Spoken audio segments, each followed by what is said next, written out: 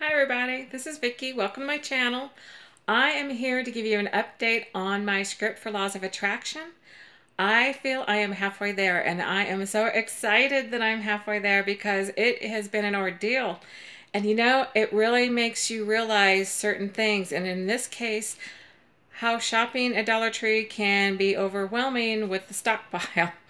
I can't believe how much I spent last year on Dollar Tree and things that I really didn't need. I just thought I was going to use them. I thought I was going to have a beautiful display on the wall or I was going to do something with them. You know, I, I love crafting, so that's what I was thinking. Unfortunately, uh, I bought too much. So my room became a mess and I am finally getting it done. I had a big mess today, actually late this afternoon that I worked on.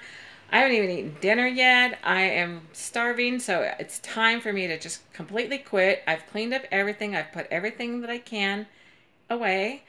I have got some great organization. I am going to share that with you guys in another video because I'm not very savvy with my videos in how I can flip this camera around to show you guys um, without losing you so or killing the video. So thank you for watching. And please watch for the video on how my red room has changed. Thank you guys for watching. I appreciate you. Bye for now.